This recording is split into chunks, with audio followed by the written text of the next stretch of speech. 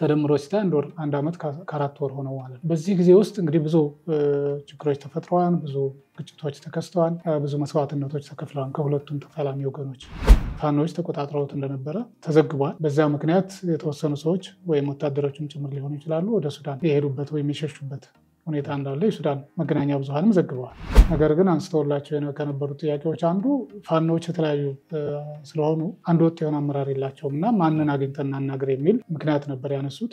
የፌዴራል መንግስትም ለሰላም ዝግጁ ነን፣ ለመደራደር ለመነጋገር ፍላጎት አለን ይበሉ እንጂ የሚመለከታቸውን አካላት አለመጋበዛቸውን አሁንም ከልብ ነው ወይ የሚል ጥያቄ እንዲያነሱ አድርጓቸዋል የሰላም council ኡ አባላት። ስለዚህ የሰላም ሚኒስትሩ ሚኒስትሩን ጨምሮ ወይም ሚኒስትር ዴኤታዎች ተሳትፎ እንኳን ነው at least የተደራዳሪው ቡድን አባል እንኳ ሆነው የራሳቸው ሚና እንዲጫወቱ የሚያደርግ ተልዕኮ ለምን እንዳሉ ተሰጣቸው አይገባኝም። ዞሮ ዞሮ ግን በዛም ዙሪያ መረጃው እንዳላቸው እውቀቱ እንዳላቸው ከሰጡት ማብራሪያ መረዳት ይቻላል። እሱ ጥሩ ነገር ነው። ሁለገብ እውቀት መኖር አንዱ የሌላውንም ተቋም ስራ ማወቅ ጥሩ ነው። ግን የራስን አድምቶ የራስን ስራ በደንብ ኃላፊነት ተወጥቶ ከዛ የሌላውንም አውቆ ማስረዳት ጥሩ ሊሆን ይችላል። የተለያዩ ክልሎችን ለማመስ እና የለውጡ ኃይሎች ከአቅማቸው በላይ ሆነ መምራት አልቻሉም ለማስባል የሚሰራው ስራ ነበር። ሸኔም አዎ ከትህነግ ጋር ለመስራት ተስማምተናል የሚል ያረጋገጠበት ሁኔታ አለ። በሌሎች ክልሎችም ውስጥ የገባ ችግር ለመፍጠር ምንም ወደኋላ የማይል ድርጅት ነው። ስለዚህ ያ ሁኔታ አንደኛ የአማራ ኃይሎች በፕሪቶሪያዊ ሰላም ስምምነት ቅሬታ ነበረ፣ አልተስማሙም፣ አማራ አልተወከለበትም የሚል ግልጽ የሆነ ሀሳብ ያነሱ ነበረ። የትግራይ ኃይሎች ትጥቅ ባልፈቱበት ሁኔታ የአማራን ኃይሎች ግን ትጥቅ ፍቱ፣ ተበተኑ የሚል እርምጃ ተወሰደ። ፋኖና ትህነግ አብረው እየሰሩ ነው የሚሉ አንዳንድ የመንግስት ደጋፊ መገናኛ ብዙኃንም የመንግስት ባለስልጣናትም እንደዛ ሲሉ ሰምቻለሁ። ጥላቻ ስላለው ጄኖሳይደር ነው እያለ አሁንም ድረስ ከጄኖሳይደር ጋር ነው አብረን እየሰራን ያለ ነው እየተነጋገርን ያለ ነው የሚል አሁንም ጠላት እያሉ ነው የሚፈርጁት። እኛ ጋር መደራደር የምንችለው ፊት ለፊት ተገናኝተን መደራደር የምንችለው ከኢትዮጵያ መንግስት ጋር የሶማሌላንዱን ውል ትቼዋለሁ ሰርዤዋለሁ ብሎ በይፋ መናገር አለበት የሚል ዝም ብሎ እንደባለፈው እንደመለስ ዜናዊ እንደነ ኃይለማርያም ደሳለኝ ምንም ኮሽ ሳይነሳ ስለ ወደብ ስለ ባህር በር ሳይነሳ ዝም ብሎ መታለፍ ነበረበት። እንደዛ ነው የሚሉ አሁን በዚህ ዙሪያ የሚተቹ የሚያጣጥሉ ሰዎች የራቀች ሀገር እንድትሆን ያደረጓት ትነጎች ናቸው። በተለይ መለስ ዜናዊ መለስ ዜናዊ በዚህ ሲወቀስ ይኖራል። መቼም ቢሆን እረፍት የሚያገኝ አይመስለኝም በዚህ ጉዳይ ላይ።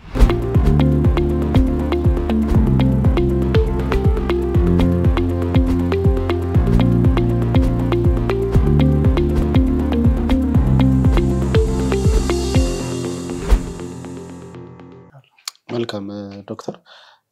ነው ወደ ሌላኛው ጉዳያችን እንለፍና ምናልባት በተለይ አሁንም ከአማራ ክልልና ከትግራይ ክልል ፖለቲካ ጉዳዮች ያው አንወጣም። በተለይ ደግሞ በፋኖና በፌዴራል መንግስት የነበረው አሁንም ድረስ ያለው ግጭት እንዳለ ይታወቃል። እና ለሁለቱ ሰላም ማስፈን ካውንስል እንደተቋቋመም እናስታውሳለን። እና ምናልባት አሁን ላይ ካውንስሉ እየሰራ ያለው ሁኔታዎችን በተመለከተ አንዳንድ ሚዲያዎች ላይም ሀሳባቸውን ሲሰጡ አይተናል። እንደው በተለይ ከአማራ ክልል አሁናዊ ሁኔታ ጋር በተያያዘ ምን እየተሰራ ነው ያለው? አሁናዊ ሁኔታውን ምን ይመስላል የሚለው ሀሳቦችን እናንሳ ዶክተር። አዎ እንግዲህ አማራ ክልል እንዳልከው ከአንድ ዓመት በላይ ሆነው አሁን አንድ ዓመት ከሶስት ወር እንደዛ የሆነ ይመስለኛል። ከሶስት ከአራት ወር almost ባለፈው ዓመት ሚያዝያ ስለነበረ ግጭቱ የተከሰተው ከዚያ በኋላ ደግሞ የአስቸኳይ ጊዜ አዋጅ የታወጀው ሐምሌ 28 ነው የነበረው። ሰው አስቸኳይ ጊዜ ከታወጀ እንኳ በኋላ ያለውን ብትወስድ አንድ ዓመት ከአንድ ወር ያለፈው ነው። በዛ በፊት የነበረ ግጭትም ነበረ። ተደምሮ ሲታይ አንድ ዓመት ከአራት ወር ሆነው ማለት ነው። በዚህ ጊዜ ውስጥ እንግዲህ ብዙ ችግሮች ተፈጥረዋል። ብዙ ግጭቶች ተከስተዋል። ብዙ መስዋዕትነቶች ተከፍለዋል ከሁለቱም ተፋላሚ ወገኖች። ሰላማዊ ሕዝብም እየደረሰበት ያለው ግፍና መከራ በጣም የሚያሳዝን ነው። እገታዎች እየተበራከቱ ነው። በሰላም ከቦታ ቦታ መንቀሳቀስ በጣም አስቸጋሪ የሆነበት ሁኔታ ተፈጥሯል። በቅርቡ ደግሞ በተለያዩ አካባቢዎች ጥቃቶች ተፈጽመዋል። ለምሳሌ መተማን አካባቢ ፋኖች ተቆጣጥረውት እንደነበረ ተዘግቧል።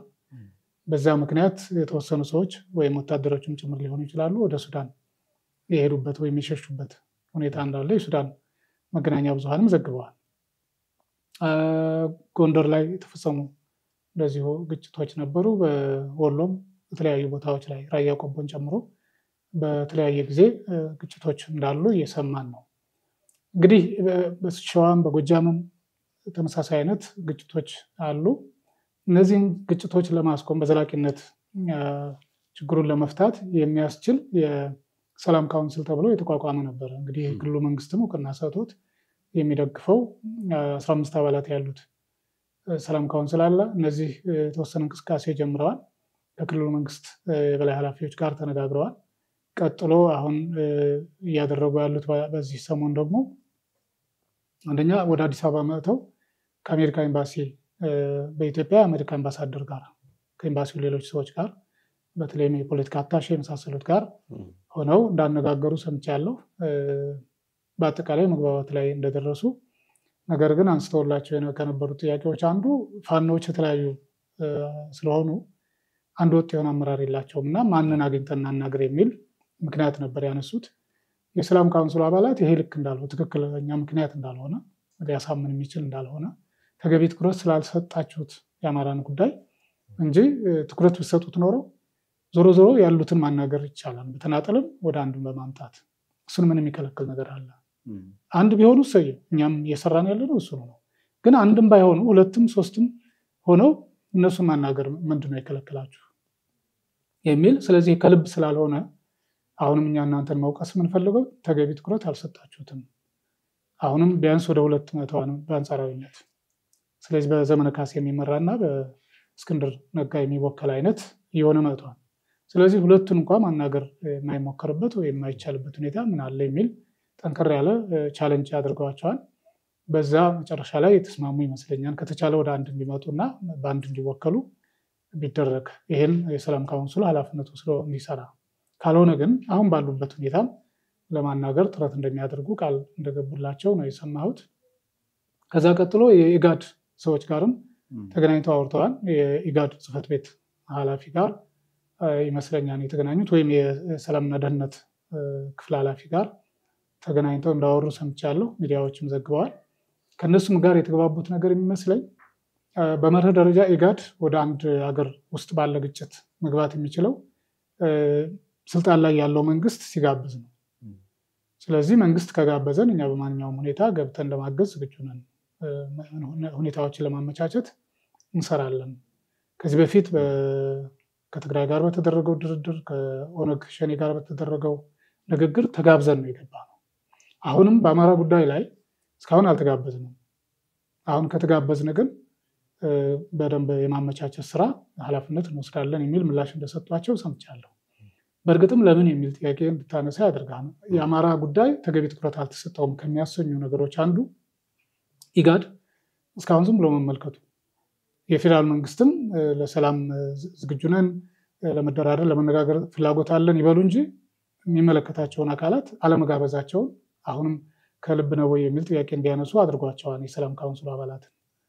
ስለዚህ በቅርብ ጊዜ የፌዴራል መንግስቱም እንዲጋብዝ ወይ ጥሪ እንዲያደርግላቸው እንዲገቡ የማወያየት ወይም የማገናኘት ስራ እንዲሰሩ እንደሚፈቅድ ተስፋ አላቸው። ከዛ ቀጥሎ በሶስተኛ ደረጃ ያነጋገሩት የሰላም ሚኒስትሩን ነው። አቶ ብናልፍ አንዱዓለም ጋር ተገናኝተው እንደተወያዩ ሰምቻለሁ። አቶ ብናልፍም ጥሩ ሀሳብ እንዳነሱ ወይም እንደተቀበሏቸው እንዳስተናገዷቸው ከዛም አልፈው ከጠቅላይ ሚኒስትሩ ጋርም ሊያገናኟቸው ፕሮግራም ሊይዙ እንደሚችሉ ተስፋ እንደሰጧቸው ሰምቻለሁ። ሰሞኑን ያው ጠቅላይ ሚኒስትሩ ወደ ቻይና ሂደው ስለነበረ ለስራ ጉብኝትም ለስብሰባም በቅርብ አልነበሩም። ስለዚህ ከመጡ በኋላ እንግዲህ ሌሎች ፕሮግራሞቻቸውን ጋር አጣጥመው ሊያገኟቸው ይችላሉ የሚል ግምት አለ። የእነሱም ተስፋ እንደዛ ነው። ስለዚህ ይሄ እንግዲህ አንድ እርምጃ ተብሎ ሊወሰድ ይችላል። ይህን በማድረግ ረገድ ደግሞ የክልሉ መንግስት ሁኔታዎችን አመቻችቷል። ፕሮግራም እንዲያዝላቸው፣ እንዲያገኟቸው፣ እንዲያናግሯቸው በማድረግ ረገድ የክልሉ መንግስት ፕሬዚዳንት ባያግዙ ኖረው እነዚህ አካላት ፕሮግራም ይዘው ላያናግሯቸውም ይችሉ ነበር። በተለይ ሰላም ሚኒስትሩ ይህን አውቀው ይመስለኛል ያስተናግዷቸው። ከዚያም ቀጥሎ ከጠቅላይ ሚኒስትሩ ጋር ወይም ከምክትል ጠቅላይ ሚኒስትሩ ጋር ሊያገናኟቸው ፍላጎት እንዳላቸው እና ዝግጁ እንደሆኑ ገልጸውላቸዋል። እንግዲህ እነዚህ ነገሮች አንድ መልካም ነገር ብለን የምንወስድበት ሁኔታ አለ። ገና ወደ ተግባር ባይቀየርም ግን የተጀመረው ነገር ተጠናክሮ ትኩረት እያገኘ የሚሄድበት ይሄ በራሱ ለሚዲያ expose ስለሆነ በዛ መልክ ተጽዕኖ መፍጠር የሚቻልበት እድል ይኖራል ብለን ተስፋ እናደርጋለን። የአማራ ክልል የሰላም council ከሰላም ሚኒስትሩ አቶ ብናልፍ አንዱዓለም ጋር ያደረጉት ውይይት በተወሰነ ተስፋ ሰጭ እንደሆነ ነው እንግዲህ የታዘብነው። ይሄ አንድ ትልቅ እድገት ብለን እንወስደው እንችላለን። በእርግጥ ወደ ተግባር ሲቀየር እና መንግስት በትክክለኛው መንገድ ለመደራደር ዝግጁ መሆኑን ተደራዳሪዎቹን even ለይቶ ማሳወቁን ከዚህ በፊት እንዳደረገው ማለት ነው መመልከት አለብን። በዚህ አጋጣሚ አንድ ሀሳብ መስጠት የምፈልገው የሰላም ሚኒስቴር በማደራደር ዙሪያ እስካሁን ሚና አልነበረውም። ታስታውስ ከሆነ ለምሳሌ ከትህነግ ጋር በተደረገው ድርድር ፕሪቶሪያ ላይ የተገኙት የሰላም ሚኒስትር ሰዎች ሳይሆኑ ሌሎች ናቸው። ከኦነግ ሸኔም ጋር በተካሄደው ታንዛኒያ ላይ ለሁለት ጊዜ በተካሄደው ድርድር ላይ የተገኙት ሌሎች ናቸው። መጀመሪያ ጀነራሎቹ ነበሩ። በኋላ የደህንነት አማካሪ በጊዜው የነበሩት አቶ ሬድዋን ሁሴን እና የፍትህ ሚኒስትሩ ዶክተር ጌዲዮን ጢሞቴዎስ ናቸው። ስለዚህ የሰላም ሚኒስትሩ ሚኒስትሩን ጨምሮ ወይም ሚኒስትር ዴታዎች ተሳትፎ እንኳ አልነበራቸው። at least የተደራዳሪው ቡድን አባል እንኳ ሆነው የራሳቸው ሚና እንዲጫወቱ የሚያደርግ ተልዕኮ ለምን እንዳሉ ተሰጣቸው አይገባኝም። እንደዛ ከሆነ ለምን የሰላም ሚኒስትር ይባላሉ የሚል ትልቅ ስም ይዘው በተግባር ግን ያን እያደረጉ እንዳልሆነ ይታማሉ። በእርግጥ መስሪያ ቤቱ አንዳንዴ ምንድነው በመልከጥፉን በስም የደግፉ አይነት የሚባል ተረት አለ፣ አባባል አለ። እንደዛ ብለውም የሚወቅሱት ወገኖች አሉ። ምን ሰራ? እንደውም የሰላም ሚኒስትር ተብሎ ከተቋቋመ በኋላ ኢትዮጵያ ውስጥ ግጭት ተበራከተ። ጦርነት የለየለት አንድ ሚሊዮን ሕዝብ ያስጨረሰ ጦርነት የተካሄደው የሰላም ሚኒስትር ከተቋቋመ በኋላ ነው፣ ወይም ስሙን ከቀየረ በኋላ። በነገራችን ላይ አዲስ ተቋም አይደለም። ከዚህ በፊት የአገር ውስጥ ጉዳይ ሚኒስትር ይባል የነበረው ወደ ፌዴራል ጉዳዮች ሚኒስትር ተብሎ የተቋቋመበት የተቀየረበት አደረጃጀቱ በተወሰነ ለውጥ ያሳየበት ትኩረቱ ምኑ እዛ መልክ የሚታይበት ነው። አሁን ከለውጡ በኋላ ደግሞ የፌዴራል ጉዳዮች ሚኒስትር ይባል የነበረው የሰላም ሚኒስትር ተብሎ ስሙን ቀየረ። በስሩ የነበሩ ተቋማትም ወደ ጠቅላይ ሚኒስትር ቢሮ እንዲመጡ ተደረገ እና ከሰላም ስራዎች ጋር የተያያዘው ተልእኮዎች ተጨመሩለት። በተግባር ግን ሰላም የሚያመጣ ስራ ሰርተዋል? ክልሎች እርስ በርስ ሲጋጩ፣ እርስ በርስ ሲወነጃጀሉ፣ እርስ በርስ ሲሰዳደቡ ነው በሚዲያ ስንሰማ የነበረው ቀደም ሲል። አሁንም ቢሆን ያው እያየን ያለ ነው። በየክልሉ ግጭቶች አሉ። አሁንም በአፋርና ለምሳሌ በሶማሌ ክልሎች መካከል ግጭቶች ይስተዋላሉ። ስለዚህ ይህን ይህን እንኳ ማስቆም ያልቻለ የሀገር ውስጥ ግጭቶችን የሀገር ውስጥ ጉዳዮችን በተገቢው መንገድ ማኔጅ ሳያደርግ በሰላም ድርድር በሰላም ማስፈን ሂደቱም ውስጥ ቀጥተኛ ተሳትፎ ሳይሆን እንዴት ብሎ ነው ይህን ተልዕኮ የሚወስደው? እንዴት ብሎ ነው ከዛ ልምድ ወስዶ ይሆን? ከዛ ድክመቱ ወይም ያ በዛ ውስጥ አለመሳተፉ አለመገኘቱ ልክ እንዳልሆነ ገምግሞ ገብቶ ይሆን የሚል እንትን አለኝ፣ ጥያቄ አለኝ። እሱ ብቻ አይደለም። ሰሞኑን እግረ መንገዱን እናንሳው። የሰላም ሚኒስትሩ ከአዲሱ ዋልታ ቴሌቪዥን ጋር በተለይ ነፃ ውይይት እና ክርክር በሚለው ፕሮግራሙ ላይ ስሜነህ ባይፈርስ እንግዳ አድርጓቸው ነበር አቶ ብናልፍን። በአጠቃላይ ውይይታቸው ሂደት በሁለት ክፍል ነው አውጥተው ዩቱብ ላይ የለቀቁት እንዳየሁት። በቴሌቪዥን ላይ ምናልባት በአንድ ክፍል ተስተናግዶ ሊሆን ይችላል። በአጠቃላይ ስለ ኢትዮጵያና ሶማሊያ ስለ የውጭ ግንኙነት ጉዳዮች ነበር ሲጠይቀው የነበረው። ሚኒስትሩም ሲመልሱ የነበሩት እሱን ነው። እንዴ እንዴት ነው የሚታሰበው ይህ ነገር? የውጭ ጉዳይ ሚኒስትርን ስራ፣ የዲፕሎማሲ ስራ፣ ከኢትዮ ሶማሌላንድ ጋር የተያያዙ ጉዳዮች በእርግጥ ማንኛውም ኢትዮጵያዊ ዜጋ ሀሳብ ሊሰጥ ይችላል በዛ ጉዳይ ላይ እንደ ካቢኔ አባልነታቸውም እሳቸውም መረጃ ሊኖራቸው ይችላል። ግን ባለቤቱ ማን ነው? እኔ ስሜነህ ራሱ ፕሮግራም ይዞ ሲሄድ እሳቸው ጋር እኔ ጠብቄ የነበረው አቶ ብናልፍን እንግዳ እንደሚያደርጉ ሳይ በሀገር ውስጥ ያሉ የሰላም ሁኔታዎችን ላይ ሙሉ ጊዜያቸውን አንስተው ይወያያሉ እና እድገቱን ያሳዩናል፣ ችግሮቹን በደንብ ይገልጻሉ የሚል ተስፋ ነበረኝ። ከዛ ይልቅ ወደ ዲፕሎማሲ እና ወደ ኢትዮ ሶማሌ ጋር የተያያዘ ነው ጊዜያቸውን ሲበሉ ያየሁት።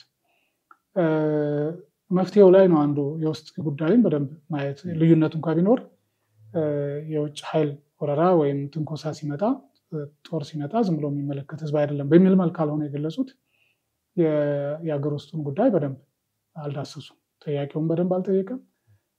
ተጠያቂውም እኔ እኮ የውጭ ጉዳይ ሚኒስትር አይደለሁም፣ እኔ ላነጋግረህ የተስማማሁት ከእኔ ተቋም ተልዕኮ ጋር በተያያዙት ላይ ያለውን ሁኔታ ነው መግለጽ የምችለው ማለት ነበረባቸው። በተወሰነ ቢሆን ቅርጽ ማስያዝ እንደነበረባቸው ይሰማኛል።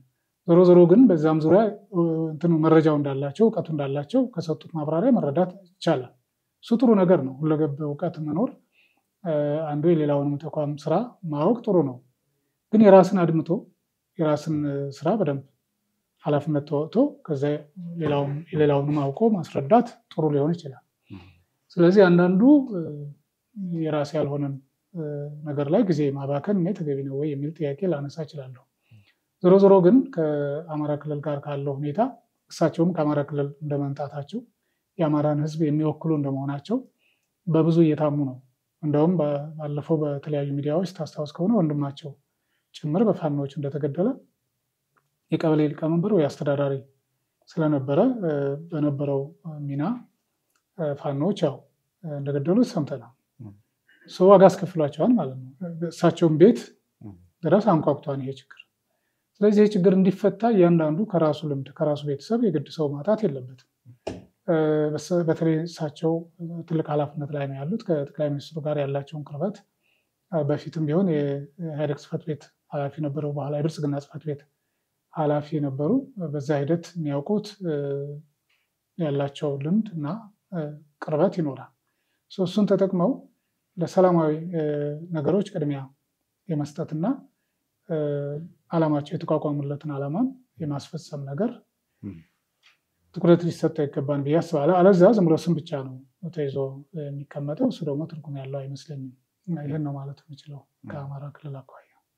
መልካም ዶክተር፣ ምናልባት እንደው ከዚህ ጉዳይ ጋር ሳንወጣ በተለይ ደግሞ ባሳለፍነው ሳምንት መጀመሪያ ላይ የአሜሪካ ካውንስል አንድ ጥናት ተጠና ተብሎ የወጣ ጥናት ነበርና በፋኖ በኦነግ ሸኔ ሌሎች ታጣቂዎች ላይ እና ለዚህ መሰረት ብሎ እንደው መደምደሚያ ያደረገው ቲፒኤልኤፍን ወይም ደግሞ ህወሓትን ነው የሚል ለምሳሌ ያበቀላቸው ብሎ ነው የደመደመው እና ይሄ ጥናት እና እንደው ከዚህ ጉዳይ ጋር በተያያዘ እንደው ከነዚህ አሁን ጫካ ውስጥ ከገቡትም ሌሎች እንደው ሊገቡ ያሉም ካሉ የሀገሪቷን ምስቅልቅል የሆነው ሀሳቦች ላይ እጁ በመሰረታዊነት አለ የሚባለ ህወሓትን ይባላል እና እንደው ከአማራ ክልል ጋር በተያያዘ እንደው የህወሓት መሰረት አለው ብሎ ያምናሉ ዶክተር? ሌሎች አካባቢዎች ላይ የህወሓት እጅ ረዥም እንደሆነ አውቃለሁ። ቀደም ሲል ጀምሮ የፈጠራቸው ችግሮች አሉ። ከዚያ በኋላ ደግሞ ባለፉት ለውጡን ተቃውሞ ሲወጣ የተለያዩ ክልሎችን ለማመስ እና የለውጡ ኃይሎች ከአቅማቸው በላይ ሆነ መምራት አልቻሉም ለማስባል የሚሰራው ስራ ነበር። ታስታውስ ከሆነ የጌታቸው ረዳ እኮ ወላይታ ድረስ ሂደው መልእክት ያስተላለፉበት እንግዳ ሆኖ የተጋበዙበት ሁኔታ ነበረ። ከኦነግ ሸኔ ጋር ሁሉ አብረን እንሰራለን ብለው በሚዲያ መግለጫ ሲሰጡ ሰምተናል። ኦነግ ሸኔም አዎ ከትህነግ ጋር ለመስራት ተስማምተናል የሚል ያረጋገጠበት ሁኔታ አለ። በሌሎች ክልሎችም ውስጥ የገባ ችግር ለመፍጠር ምንም ወደኋላ የማይል ድርጅት ነው ትህነግ ማለት። ነገር ግን አሁን አማራ ክልል ላይ ካለው አንጻር ሲታይ ትንሽ ለየት ያለ ነገር ያለ ይመስለኛል። አንደኛ አማራ ክልል ላይ የተፈጠረው የጸጥታ ችግር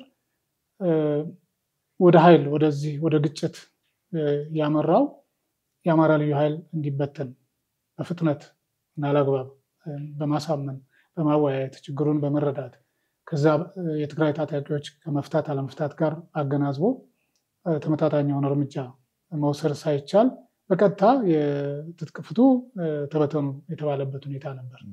አይ ይሄ ነገር ልክ አይደለም፣ ሊሆንም አይችልም የሚል ሀሳብ ሲነሳ የተከፈለውን መስዋዕትነት ከፍለን እናስፈታለን የሚል ቁርጥ ያለ አቋም ነበር ከፌዴራል መንግስትም ምላሽ ሲሰጥ የነበረው። የክልሉ መንግስትም ያን ለማስፈጸም ነበር ሲሯሯጥ የነበረው። በሌላ በኩል ደግሞ ፋኖዎችን እንደዚሁ ተበተኑ፣ የያዛችሁትን የቡድን መሳሪያ ታስረክባላችሁ፣ እናንተ ወደ ቀደመ ስራችሁ ትመለሳላችሁ የሚል የመደበኛ አደረጃጀት ምን እያሉ መተቸት ተጀመረ፣ ከፕሪቶሪያ የሰላም ስምምነት በኋላ ማለት ነው። ስለዚህ ያ ሁኔታ አንደኛ የአማራ ኃይሎች በፕሪቶሪያ የሰላም ስምምነት ቅሬታ ነበራቸው። አልተስማሙም፣ አማራ አልተወከለበትም የሚል ግልጽ የሆነ ሀሳብ ያነሱ ነበረ። ሁለተኛ የአማራን ጥቅም የሚያስከብር አይደለም የፕሪቶሪያው ስምምነት። ለምን ህወሀት መዳከም ነበረበት መጥፋት ነበረበት እስከ ማለት የሚደርሱ ሰዎች ነበሩ። እንደዛም ከሆነ ደግሞ ሰላም ስምምነቱን ከተፈረመ በትክክል ተግባራዊ ሊሆን በተለይ DDR የሚባለው ይሄ disarm ማድረግ demobilize እና reintegrate ማድረግ ጉዳይ ቶሎ መፈጸም አለበት ብለው ያምኑ ነበር። ነገር ግን በስምምነቱም እንደተባለው በአንድ ወር ውስጥ ቀርቶ በአንድ ዓመትም ወይም ለበርካታ ወራት ዘግይቶ ያልተፈጸመበት ሁኔታ ነበር። የትግራይ ኃይሎች ትጥቅ ባልፈቱበት ሁኔታ የአማራን ኃይሎች ግን ትጥቅ ፍቱ፣ ተበተኑ የሚል እርምጃ ተወሰደ። ይሄ ከፍተኛ ቅሬታ ፈጠረ በፌዴራል መንግስቱ ላይ። ስለዚህ ግብታዊ ነበር ማለት ይቻላል ነው ትጥቅ አንፈታም ወይም አንበተንም የሚል ከልዩ ኃይል ውስጥ በከፊል ወደ ፋኖ የተቀላቀለበት ፋኖም ከዛ በፊት ቅሬታዎች ስለነበሩት ነው እኛ አንበተንም ትጥቅ አንፈታም ብለው የአማራ ህዝብ ጥያቄዎች ሳይመለሱ የአማራ ህዝብ የተረጋጋ ሁኔታ ውስጥ ሳይገባ አስተማማኝ ሰላም ሳያገኝ ትጥቅ አንፈታም አንበተንም የሚል አቋም ነበራቸው ፋኖዎች። በዛ ምክንያት ከመከላከያ ጋር የተወሰነ መጋጨት ጨምረው ነበር እና እስከዛ ድረስ እንግዲህ ከህወሀት ጠላት ዋና ጠላት አድርገው የፈረጁት ነው የነበረው። ስለዚህ ከህወሀት ኃይሎች ጋር ይዋጉ ነበር ማለት ነው። ቀደም ሲል መከላከያ ጋር ሆነው ተዋግተዋል። ከዛም በፊት በአማራ ህዝብ ላይ ህወሀት የፈጸመው ግፍና በደል እጅግ የከፋ አሰቃቂ ስለነበር በዛ ምክንያት ጥላቻቸው በጣም ከፍ ያለ ነው የነበረው። እንደውም ህወሀት መጥፋት አለበት፣ ህወሀት ሳይጠፋ ለምን ወደ ሰላም ስምምነት ተገባ የሚል መቀሌ ተከባ ያለች ፌዴራል መንግስት በኃይል መቀሌ መግባትና ህወሀትን ማጥፋት ሲገባው እንዲተርፍ ማድረጉ ራሱ ትክክል አይደለም የሚል አቋም ነበራቸው። እንደዛ ባለበት ሁኔታ አሁን ኋላ ላይ ህወሀት እነዚህን አካላት አግዟቸው ወይም አደራጅቷቸው ወይም አሰማርቷቸው ልትለው የምችለው አይደለም። ህወሀትን ጭምር ነው ሲዋጉ የነበሩት። ይሄ ለየት ያደርገዋል ከሌሎች አንጻር ያልኩት ለዛ ነው። የኋላ ኋላ ምናልባት ፋኖች ጠንከር ብለው እየተዋጉ ከፌዴራል መንግስቱ ጋር እንትን እያደረጉ ሲመጡ እና የአስቸኳይ ጊዜዎች ከታወጀ በኋላ ምናልባትም ወደ በዚህ እንግዲህ በዚህ ዓመት አጋማሽ ወይ መጨረሻ አካባቢ አንዳንድ ነገሮች መሰማት ጀምረዋል። ፋኖና ትህነግ አብረው እየሰሩ ነው የሚሉ አንዳንድ የመንግስት ደጋፊ መገናኛ ብዙሃንም የመንግስት ባለስልጣናትም እንደዛ ሲሉ ሰምቻለሁ። አንዳንድ ሚዲያዎችም የዚህ አይነት መልእክቶችን ሲያስተላልፉ ሰምቻለሁ። ምናልባትም ትህነግ በትጥቅ ፋኖችን እየረዳ እንደሆነ አድርገው የሚዘግቡ ወይም የሚገልጹ ወገኖች አሉ። አንዳንዴ ደግሞ በትግራይ ክልል ጥግ ያሉ ፋኖዎች ሲቆስሉ ወይም ሲታመሙ ወደ መቀሌ እየሄዱ ይታከማሉ እስከ ማለት አንድ ወቅት እንደውም ታስታውስ ከሆነ ምሬ ወዳጆ ቆስሎ ወደ መቀሌ ሄዶ አይደር ሆስፒታል ታከመ ምናምን የሚል እነሱም ተሾመ ይመስሉኛል ወይም እንደዚህ የገለጹበት ሁኔታ ነበር። እኔ ያን አምኖ ለመቀበል ይከብዳል። እውነተኛ መረጃ ነው ወይ የሚል ጥያቄ ያነሳለሁ። በእርግጥ አሁን እርስ በርስ ላለመዋጋት የተስማሙ ይመስላሉ ዝም ብለህ ድርጊታቸውን ስታይ። በተጨባጭ ተገናኝተው ተነጋግረው ተስማምተው ሁለቱም በፌዴራል መንግስት ላይ ተባብረው ሊዋጉ ወይም እርምጃ ሊወስዱ እንትን ብለዋን የሚል እምነት የለኝም።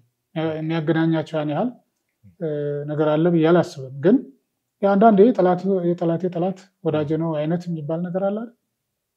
በዛ ምክንያት ትህነግ እድሉን ካገኘ ከፋኖ ሰዎች ጋር አይገናኝም ወይም ለማገዝ ዝግጁ አይሆንም የሚል እርግጠኛ ሆኖ መናገር ይከብዳል።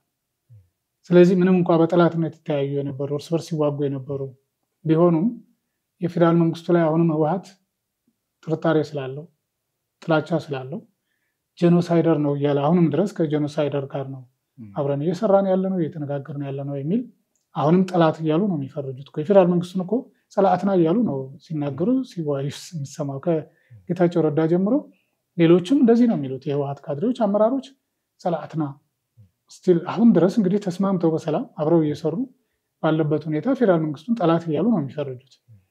ስለዚህ ጠላታችንን ፋኖ እያዳከመልን ነው፣ ደህና እየወጋልን ነው ብለው ሲያስቡ ከፋኖ ጋር ለመቀራረብ ፋኖችን ለማደገፍ ለማገዝ አይሞክሩም ማለት አይደለም። ግን እንደዛ ስለማድረጋቸው የሚያሳዩ መረጃ ማስረጃ እስካሁን እኔ በእኔ በኩል አላገኘሁም። ዝም ብሎ እንደ ማንኛውም ታዛቢ ግን አሁን እርስ በርስ እነሱም ይዋጉ አይመስለኝም። ምናልባት ሙሉ ኃይላቸውን ፋኖዎች ወደ ፌዴራል መንግስት እና ወደ አማራ ክልል መንግስት ላይ ያተኮረ ይመስላል። በዚህ አጋጣሚ እንደውም ራያ ሲወረር ዝም ብለው ማየታቸው መግለጫም ጭምር ጠንከር ያለ መግለጫም አለማውጣታቸው ፋኖዎች ለምን የሚል ጥያቄ አንዳንድ ወገኖች እዚ አካባቢ ተወላጆች በተለይ እና ህዝቡ የራያ ህዝብ ቅር ተሰኝቷል። በፋኖዎች እንደዚ አይነት ነገር ሰምቻለሁ። አንዳንድ የጎንደር ፋኖዎች ግን ከጠለምት ጋር ሆነው ወይም ወደ ወልቃይት ጠገዴ ጭምር ሄደው ትህነግን ለመውጋት ጥረት ማድረጋቸውን ወይም ድጋፍ ለማድረግ መንቀሳቀሳቸውን ሰምቻለሁ። ያም የሚያሳይህ ነገር ተቀራርበው አብረው እየሰሩ ሳይሆን still አሁንም በጠላትነት እየተያዩ መሆኑን መመልከት ትችላለህ። በራያ አካባቢ ግን እንዲሁ በርቀት ዝም ብለው እየተያዩ እንዳሉ ነው መረጃ የምሰማው። የራያ ህዝብ ግን በተነግ ሲወረር ዝም ብለው በማየታቸው ቅሬታ የተሰማቸው በርካታ ሰዎች አሉ። እኔም እንደዛ ባይሆን እመርጥ ነበር። ለህዝብ እንታገላለን፣ ለህዝብ ጥያቄ ቁመናን ካሉ የራያ ህዝብ የአማራ ህዝብ ነው። የአማራን ህዝብ ደግሞ የትግራይ ወራሪዎች ሲወሩት እና በኃይል ተቆጣጥረው ንብረቱን ሲዘርፉ ሲያፈናቅሉት ሀምሳ ሺህ በላይ ህዝብ እንደተፈናቀለ ዜናዎች ወጥተዋል። በአካል ቆቦ አካባቢ በጣም ብዙ ህዝብ እንደነበረ ያው ዩኤንኦቻ ሳይቀር ነው ሪፖርት ያደረገው። ወደ ሰቆጣም እንደዚሁ እስከ አስር ሺህ ሊደርሱ የሚችሉ ተፈናቃዮች እንደሄዱ ሰምተናል።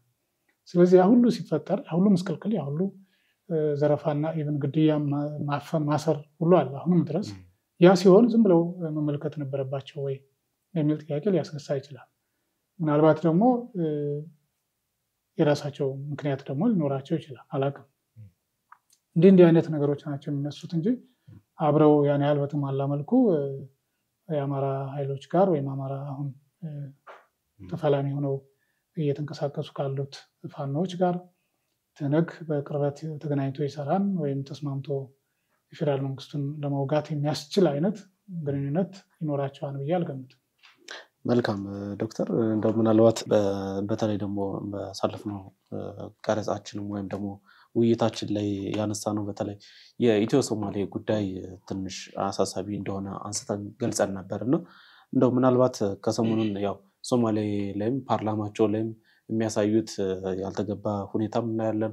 ሶማሌላንድ ላይም የሶማሌ ላንድ ነዋሪዎችም ህዝቡም ኢትዮጵያን እንፈልጋለን የሚል መፈክር ሁሉ ይዘው ወጥተው እናያለን።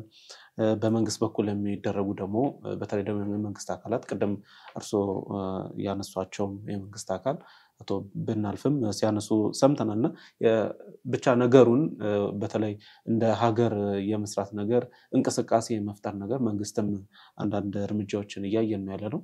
በዛው ልክ ደግሞ የግብፅንም ሁኔታ ባሳለፍነው ሁለት ቀናት ውስጥ በተለይ ከሶማሌ ወታደር ጋር የምታደርገውን ልምዶች የተለያዩ ሁኔታዎች እያየን ነበር እና በተለይ የምስራቅ አፍሪካ ላይ ያለው አሁናዊ ሁኔታ ትንሽ አሳሳቢ ይመስላል።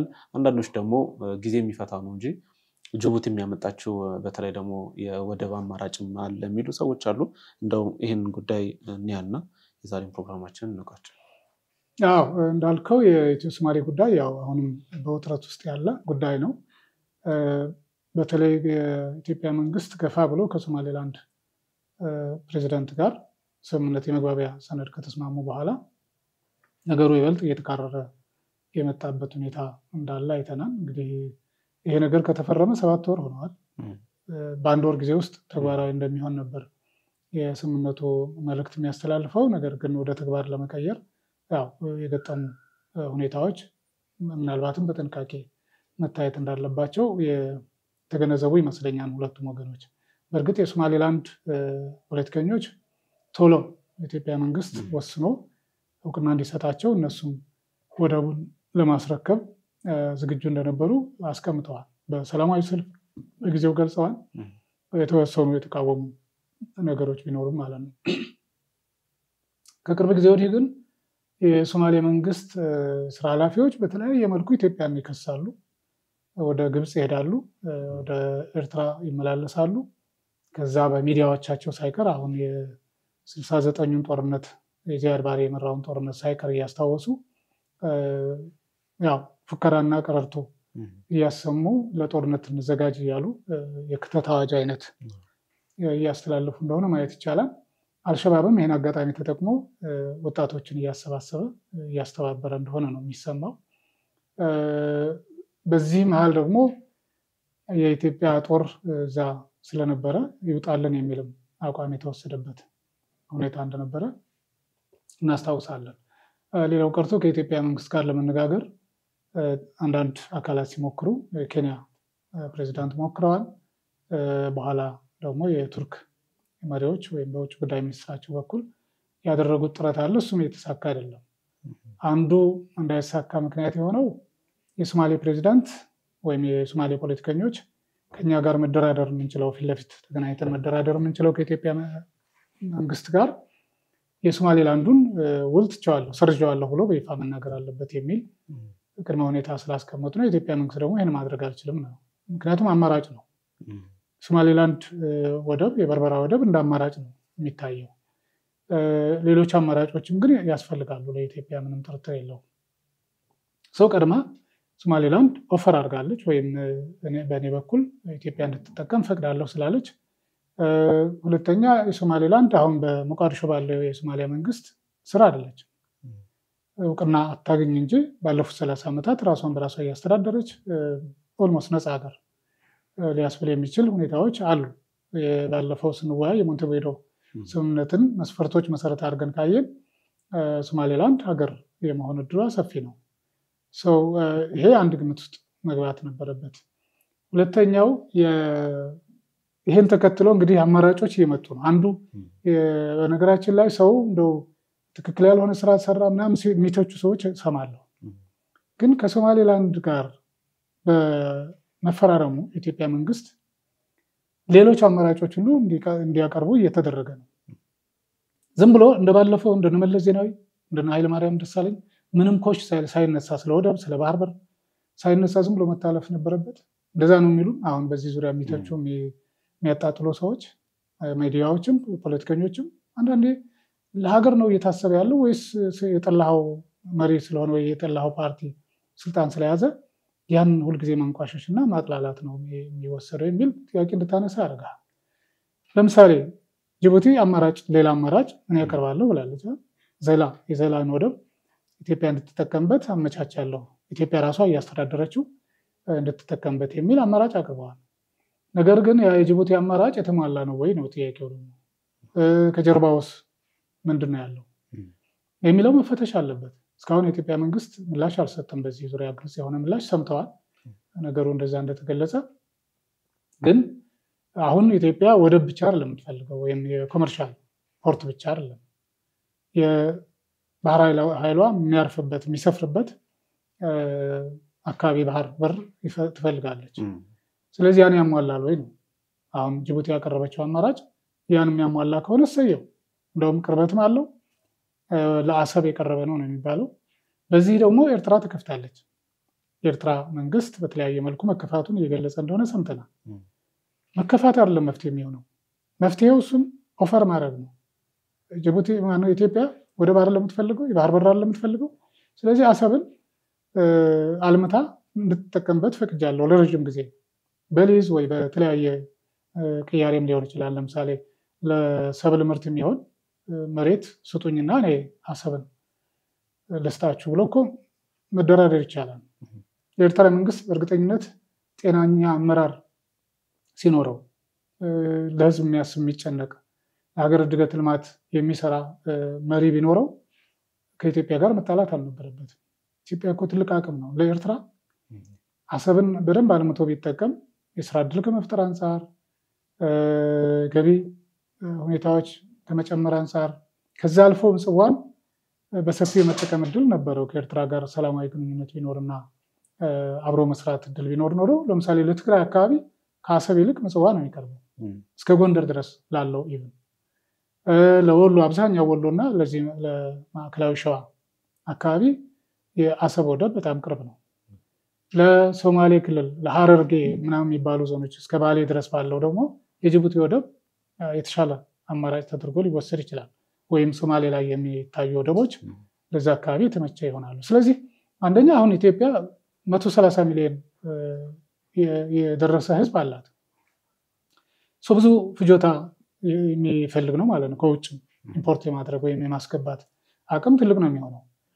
ይሄ የሚያመርተው ደግሞ ኤክስፖርት ይደረጋል። ስለዚህ በወደብ ነው ይሄ ነገር የሚያልፈው። እሱ አንድ ግምት ውስጥ መግባት መቻል አለ። የእድገቱም ራሱ አንጻራዊ በሆነ መልኩ የኢኮኖሚያዊ እድገቱ እንዲህ በቀላሉ የሚታይ አለ።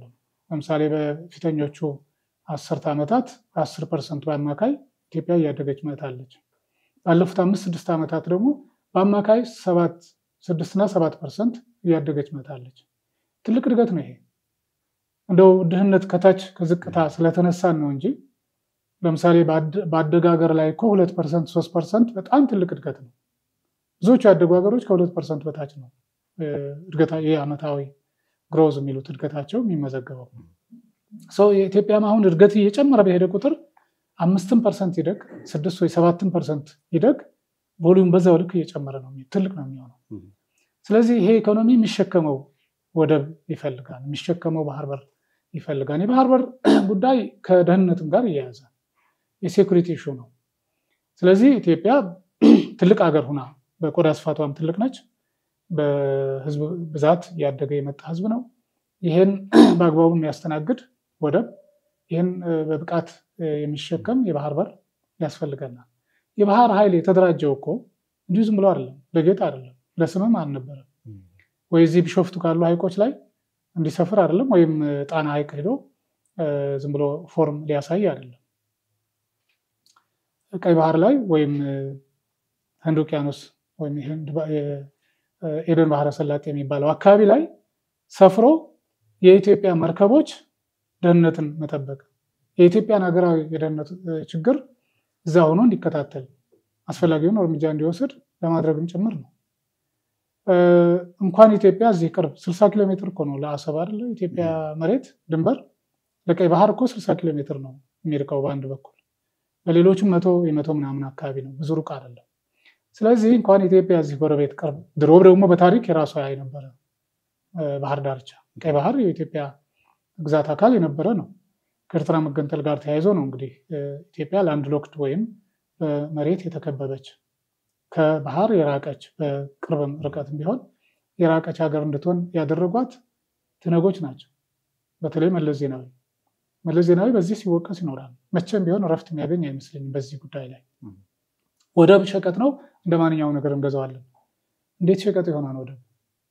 ታየ እኮ አሁን የሀገሪቱን almost አስር በመቶ ገቢ ለወደብ ክራይ ነው የሚከፈለው። እሱም ቢሆን በአንድ ወደብ ላይ ተወስነህ ማለት ነው። so ግጭት በተፈጠረ ቁጥር ከነዚህ ሀገሮች ጋር አለመግባባት በተከሰተ ቁጥር ያ ወደብ ሊዘጋብህ ይችላል። ሸቀጥ የሚባል ዝም ብሎ ቀልድ አይሰራም ማለት ነው። ይህ አንድ መታሰብ መቻል ያለበት ይመስለኛል። ዞሮ ዞሮ ግን የኢትዮጵያ መንግስት ይሄን አማራጭ በመሞከሩ ይኸው ጅቡቲ አማራጭ ከዋናው ወደቧ በተጨማሪ ሌላ ወደብ ራሷ ኢትዮጵያ የምታስተዳድረው አቅርባለሁ ብለዋል። ነገር ግን አንዳንዶች የሚሉት አሁን የጦር ኃይል ማስፈሪያን አይጨምርም፣ ዝም ብሎ ለንግድ ለቢዝነስ የሚሆን ወደብ ነው ልንሰጥ የምንችለው ብለዋን የሚል ሀሳብ ነው እየተነሳ ያለው። እሱ እንግዲህ በሂደት በድርድር ይሄ በራሱ አንድ መልካም ነገር ነው። ከዚያ የባህር በር በተለይ የባህር ኃይሉ የሚያርፍበት የሚሰፍርበት ተጨማሪ አካባቢም ፈልጋለሁ ብሎ የኢትዮጵያ መንግስት መደራደር እና ጫና መፍጠር አለበት። ሌላው ቀርቶ እየተቃወመች ያለችው እኮ የሞቃዲሾ ሶማሌ መንግስት ሌሎች ወደቦች እኮ አሉን አማራጭ እኛም እኮ ልንሰጣቸው እንችላለን። ጥያቄያቸው እኮ ተገቢ ነው። የወደብ ጥያቄ የባህር በር ጥያቄ ማንሳታቸው አይደለም ችግሩ፣ እኛ ሳንፈቅድ ከሶማሌላንድ ጋር መስማማታቸው ነው የሚል ተቃውሞ ነው ያላቸው። ይህን ብለው አያውቁም እስከዛሬ። ይህን ያሉት አሁን ይሄ ነገር ስለመጣ ነው አይደል? ኬንያ አማራጭ ወደብ ልታቀርብ እንደምችል ይታወቃል። ግን ኢትዮጵያ አሁን በምትፈልገው መልኩ አይነት አይደለም። ልክ አሁን ጅቡቲ ላይ እንደምትጠቀመው አይነት ሊሆን ይችላል። አሁን የኢትዮጵያ መንግስት ከኤርትራ እና ከሶማሌ ከዋናውም ሶማሌ ሊሆን ይችላል እንገነጠላለን እያሉ ካሉት ሶማሌዎች ሶማሌላንድ አለ፣ ፑንትላንድ አለ። ከነዚህ መጠቀም የሚችሉት የሚችለው የባህር ኃይሉ የሚሰፍርበትን ቦታ ጭምር የሚያገኝ ከሆነ አሁን እንዳየኸው ለምሳሌ የኢትዮጵያ አየር መንገድ ወደ ኤርትራ የሚያደርገውን የነበረ በረራ አቁሟል። በሂደት ምናልባት የኤርትራ መንግስት ከዚህ በፊት እንደተደረገው በኤርትራ አየር ላይ መብረር አችልም ቢል ምንድን ነው የሚሆነው? አማራጭ ማየት ይጠይቃል። ሌሎችም እንደዛው ጎረቤት ጋር ሁልጊዜ በሰላም ትኖራለህ ማለት አይደለም። ስለዚህ ዝም ብሎ ባህር በር ማለት ወይም ወደብ እና አቅራቢያው ማለት ያቺ ውስን መሬት እና ጭነት የሚራገፍባት ጭነት የሚጫንበት አይነት አይደለም። አየሩንም ጭምር ነው፣ ባህሩንም ጭምር ነው። ባህር ደግሞ የጋራ ነው። ወደዛ ጠለቅ እያለ ሲሄድ ከሚዋሰኑ ሀገራት በተወሰነ ኪሎ ሜትር እየራቅ ስትሄድ የጋራ ነው የሚሆነው። ያን የጋራ አየር፣ የጋራ ውሃ፣ የጋራ ሀብት የበለጠ ለመጠቀም ባህሩ ጋር መቅረብ አለብህ። ስለዚህ ይሄን ታሳቢ ያደረገ እንቅስቃሴ ነው ያለው። ሰው የኢትዮጵያ መንግስት በጣም ዋይሱ ነው። በደንብ በብስለት ነገሮችን በመያዝ ዲፕሎማሲያውን ስራዎችን ማጠናከር ይጠይቃል።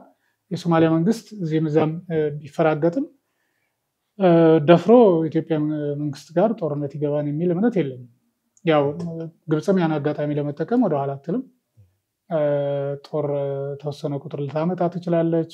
የሶማሊያን ጦር ልታሰለጥን ትችላለች። በጦር መሳሪያ ልታስታጥቅ ትችላለች። ይሄ አዲስ ነገር አይደለም። ዚያድ ባሬንም እስከ አፍንጫው አስታጥቀውት ነበረ ግብጾች እና ሶቪየቶች። ግን መጨረሻ ላይ ለሽንፈት ነው የበቃው። እንኳን አሁን የሶማሊያ መንግስት አለ ለማስባል የሚያስቸግር አሁን ያለው የሞቃዲሾ ደህንነት ራሱ በኢትዮጵያ የመከላከያ ሰራዊት አባላት ነው እየተጠበቀ ያለው።